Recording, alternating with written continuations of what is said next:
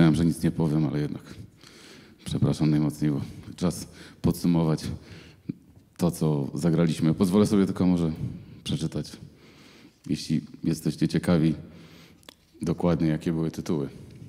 I pierwszy to był utwór, który jest zatytułowany Czarny Kocioł Jagniątkowski. I, i jedno odstępstwo od tych karkonoszy, jeden utwór się nazywał Lentas, to jest z kolei miejscowość w Grecji, więc wybaczcie, ale nikt się na pewno nie zorientował. To też w Karkonoszach. To jest utwór, który kiedyś napisałem, ale się okazało, że jest całkiem ok. Później e, zagraliśmy kompozycję zwaną e, Dry Mountain, z, e, Sucha Góra. To jest też e, taka piękna sprawa w Karkonoszach. Później kompozycja zwana Stepping on the Coral Path, czyli koralowa ścieżka. I bardzo w sumie ciemny tytuł, mroczny, The Trees Enemies, dlatego że zdarza się, że jak się chodzi w parku narodowym, w Karkonoszach to jest tak ogromna wycinka tych drzew, że stwierdziłem, że mamy dużo wrogów, y, którzy zabierają nam to, co najładniejsze i potrafią za dużo zabrać z tej natury i byliśmy poruszeni, jak często się to zdarza w Parku Narodowym, więc też taki tytuł i taka kompozycja. I, i, prze, przed chwilą zagraliśmy kompozycję zwaną The Old House of Gerhard Hauptmann, y, piękne miejsce w Jagniątkowie. To właśnie y, kompozycja dedykowana y, temu wspaniałemu miejscu i tej willi, w której tworzył, y, bardzo znany noblista i pisarz. A teraz zagramy dla Was ostatni utwór, Słoneczniki, czyli Rocky Sunflowers. Jeszcze raz wielkie brawa. Luis Clavis.